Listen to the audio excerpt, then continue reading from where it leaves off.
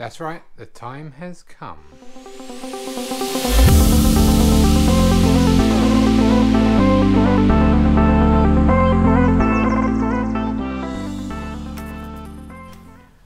Hi all and welcome back to High Speed Touring. Right, today, finally, we're going to get the carbon fibre parts on from Ilmberger. Uh, we've already done the front hugger, but we've got the rest of the bike to do now. I've got all the pieces. So it's been a long process, but we've finally got the bits and we are ready to go. So let's crack on. Okay, let's start with the smaller of the two packages and see what we got. Really looking forward to this. It's been quite a long time.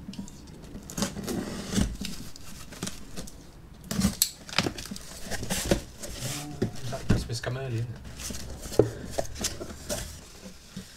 That's so nice. Look, it comes in its own little bag.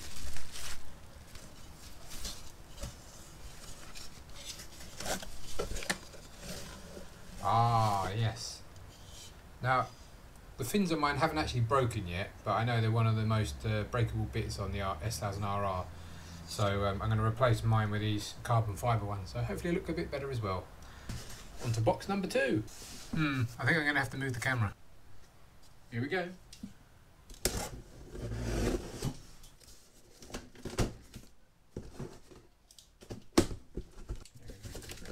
Here we go then. Ooh, and lots of bags. That's good news. Wow.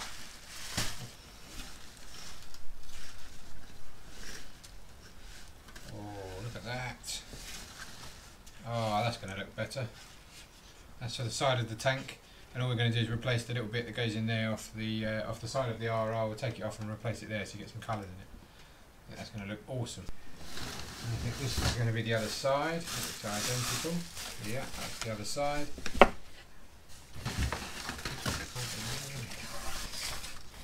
Oh, look at that. For those you don't know, uh, I've just actually started a, uh, a new company. After having the S1000RR coated in a uh, ceramic coat, I was so impressed, I contacted the company and see if we could get a day where we could fit everything. Unfortunately, they're so busy at the moment, they couldn't send anyone down. Uh, the other option was to get me trained up and set up my own company, take on the franchise, which I've done. It's been quite hard work over the last few weeks, but we've got there in the end, and I'm all ready to go. If you have a look at www.supershieldauto.co.uk, uh, that's my new website, and you'll find on there I'm actually taking the Supreme Coat products, uh, life-proof products from there, which give you a 10-year guarantee on new vehicles, seven years on a used vehicle. It makes the uh, paint surface super hydrophobic, so the water just runs off, nothing sticks to it, and uh, it's really easy to clean. Not only that, it's uh, scratch resistant to 9H, and that's tested by Boeing. And you can on their website at supremecoat.com, you can get all of the uh, product sheets, and they will show you all the testing that Boeing have done on the product. Also UV protectant, and it will uh, really bring out the uh, depth of colour in any uh, of the paintwork or the carbon fibre. So I'm going to go ahead and just apply a bit on here. Right, as you can see, it's already quite shiny. I've given it a quick degrease, so hopefully we're back to uh, the uh, top coat and nothing else on top. All we're going to do, I'm going to apply some of this coat, and uh, we're going to see if it makes any difference. So you can see it. I don't know if you can see it on the camera. I can just about see it going on. You can see it's got wet. The next step is just to give it a quick buff. So I think you can just about make out this line on the camera. Can you see there's a straight line all the way down the carbon fibre there. So we've treated this section, but this section isn't treated. You can see it just brings out a deeper, much um, glossier shine to the carbon fibre. Gives it much more depth of colour. It also protects it, obviously UV protective, scratch protectant, and it make it a lot easier to keep clean. Just wipe it down and it's clean. Nothing's going to stick to it.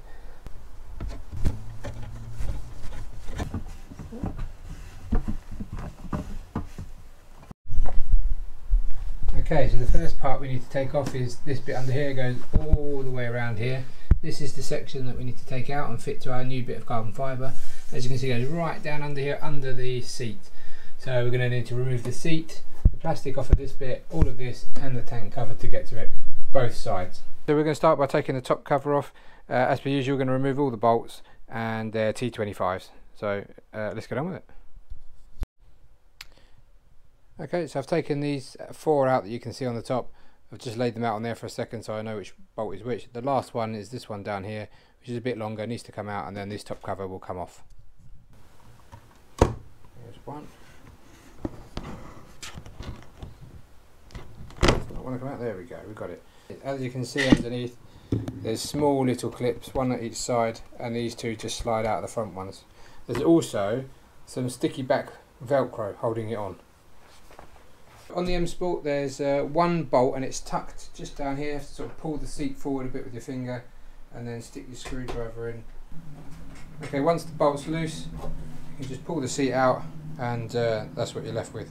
Okay, so once you've removed the seat, you actually just need to take the the two screws one here one here that hold this on these two aren't holding the side panel and they're holding the tray down okay once all the bolts are out we're going to just pop this off the top here there's a little catch here which you need to slide forward and the whole thing should slide forward do a couple of clips at a time and it should just pop off as you can see on the back there at the end there's a tiny couple of holes at the back here where it's holding there's a clip here with a little tooth underneath where that goes through that hole in under there.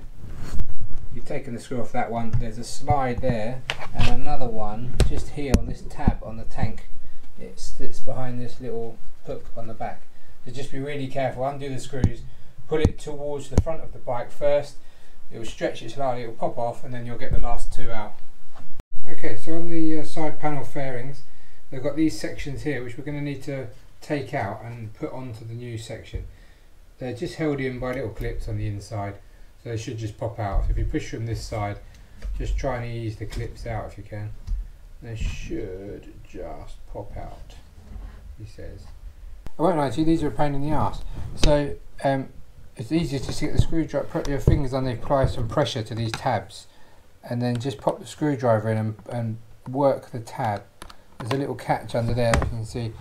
Get the screwdriver in inside there, pull the little lever back and, and just keep applying pressure to the outside unit. Eventually it just pops out. Now we need to remove these metal tabs and put them into the carbon fibre piece that we're replacing this plastic bit with. As you can see, they're pushed through from the back. So once you've removed the plastic, you squeeze them together with a pair of pliers, they should pop through the front side. Obviously they won't do it while the plastic's in there. Just a bit of pressure, squeeze it together and you can take these little plastic clips out and put them into your carbon fibre piece ready for this insert to go in. Okay, so once you've removed all these little clips from the back, the only one left to do is at the front of these pieces, there's a clip here, so don't forget also to push this clip out and fit it to your carbon fibre piece. So just squeeze it together, push it in, and then let go and it will sit there ready to uh, take the housing when it goes over the top.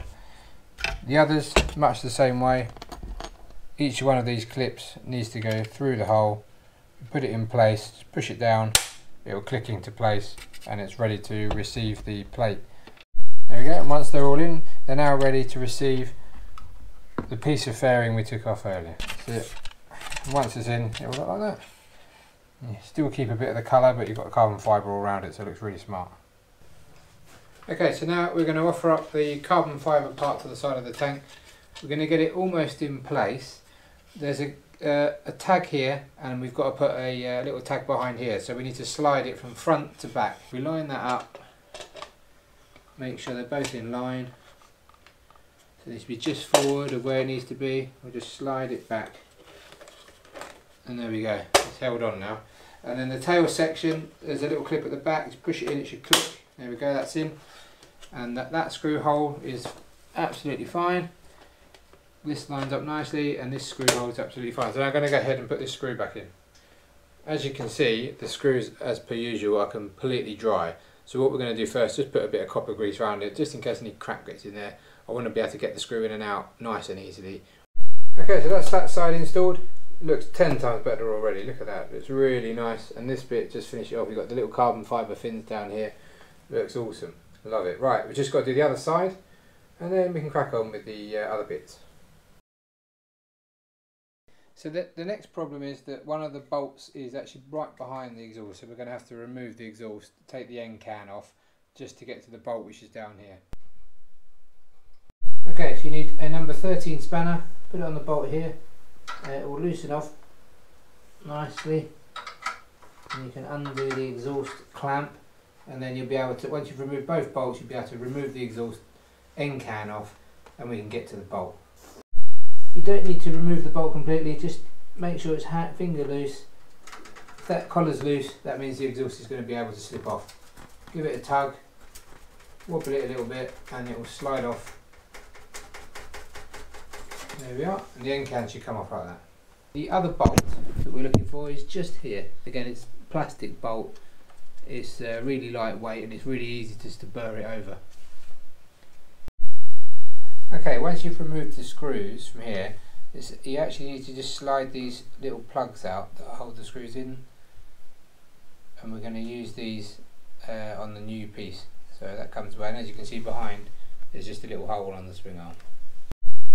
Okay, on the other side of the bike, there's one here by the rear sprocket on the swing arm, and we're going to need to remove that bolt. And there's another one, if you can just see it right above the chain, just here above the footrest and where the chain is, there's an actual proper bolt in there holding this on. So we need to remove those two to get it off. So, just going to pop that out. I'm going to take this plastic lug out as well. Now that's nice and loose. One more to go. Okay, we just got to get this one out and we're done. There we are. So it's a T25 this one.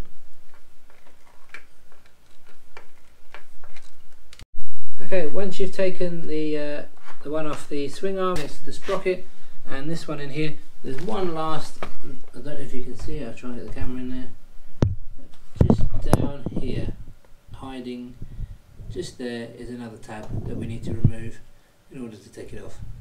Okay, in order to get to that bolt, what we're going to do is just detach the um, chain guard from the rear mud guard. There's a little clip.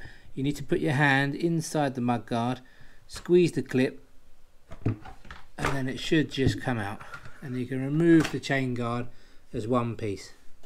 And that gives you access to this little bolt here. Okay, once you've removed that bolt, it's not actually a bolt, it's a twisted pin. So just unscrew it a little bit, get something underneath it and pop it out.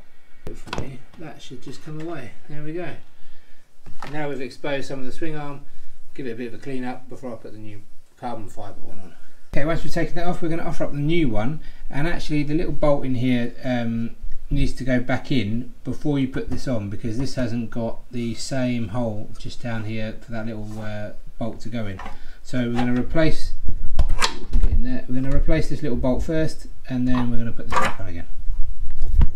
Okay, so first of all we're going to replace the little plug that came out. That goes back in there. And then we're going to replace the little bolt straight back in the hole. And it literally just pushes down. And that's it, it's in. So now we're going to put the carbon fibre tailpiece on. Here we go.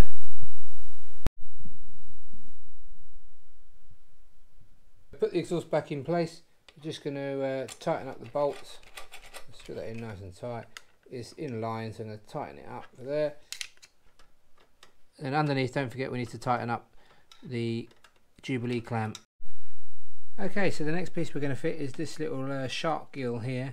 Um, as you can see, it's really flimsy plastic and uh, we need to try and get it off here unbolt it so to do that we need to remove the fairings to get to the two bolts there we go. Okay next on the list under in this little bolt here. That should release this edge. We might be able to pop it away and get to this without having to remove the whole panel but we'll see how it goes. Right once you've removed this one you'll see underneath covered up by this bit of plastic there's another bolt just underneath which will release this front edge. We should be able to remove this front edge two. Just keep working it along three. So as you can see once you've taken a few of the poppers out there's a bolt just under here and that's the one we need to remove these shark gills. There's also another one right on the front of the engine bay. Okay so I've managed to get a screwdriver in here. I've just loosened off the fairing. Managed to get a little screwdriver in there undo the front one.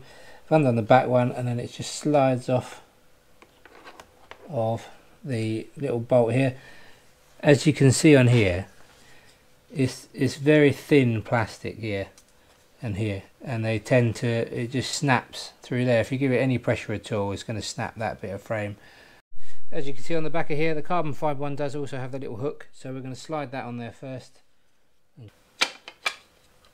That's about right there. So slide it on, and as you can see, once you've once you've um, put the slide on there, it tends to be held in the right position anyway. So I'm going to go ahead now and just uh, hold it in with the two bolts, and uh, yeah, it's going to look a lot nicer, I think. I've taken most of this piece of fair enough. I've just left it attached to the front. All I'm going to do is put my hand under here, try and get that in the right place, and then tighten it up. Okay, and there we go. One fitted shark fin on this side. It looks a lot better than the original. Really just uh, sets it out with that little bit of carbon fibre. Got the theme running throughout now, so I've got the front mud guard, the uh, fins there, the side panels, and the rear mud guard and uh, chain guard as well. Looks really good. Really impressed. Well, that's about it, folks. Thanks very much for watching. Um, we fitted all the carbon bits on the bike. They look absolutely amazing from Ilmberger carbon fibre parts. Um, I was supposed to go to their factory actually to meet them. Unfortunately, due to coronavirus, just couldn't get down there. Everything was cancelled. Hopefully, we'll get down there again in the future and I'll uh, take the video camera and we'll have a little look round. Anyway, everything's on the bike. It looks absolutely amazing. The parts fitted absolutely perfectly. They come in their own little bags. Really, really good quality. Can't recommend them highly enough.